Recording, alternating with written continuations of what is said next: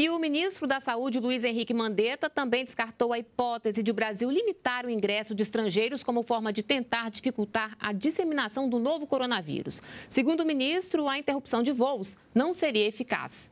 E o Ministério da Saúde informa que o paciente infectado está em casa sendo monitorado e passa bem. O Brasil é o primeiro país da América do Sul a confirmar um caso de coronavírus. O exame que confirmou a doença Covid-19 foi feito pelo laboratório de referência Adolf Lutz. O paciente é um homem de 61 anos que esteve no norte da Itália, região considerada foco de surto da doença na Europa. Ele retornou ao Brasil na última sexta-feira. O diagnóstico veio na segunda no Hospital Albert Einstein, em São Paulo, cidade em que ele vive. É mais uma gripe que a humanidade vai ter que atravessar. Das gripes históricas com letalidade maior, ela se comporta bem a menor e ela tem uma transmissibilidade similar a determinadas gripes que a humanidade já superou e já passou. O Brasil já havia adotado o status de emergência em saúde pública de importância nacional, mesmo antes da confirmação de um caso da doença.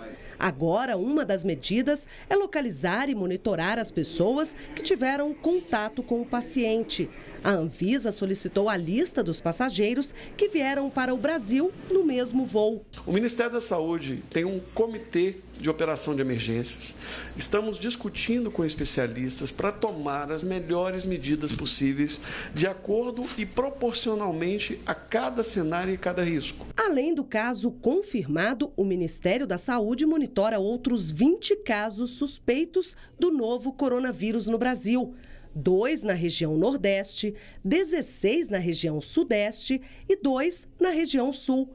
Outros 59 casos foram descartados.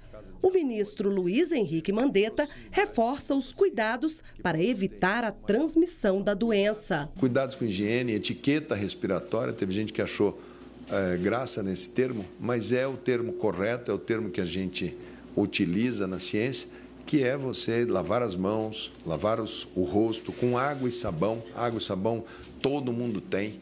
O brasileiro precisa aumentar o número de vezes que lava as mãos e lava o rosto durante o dia.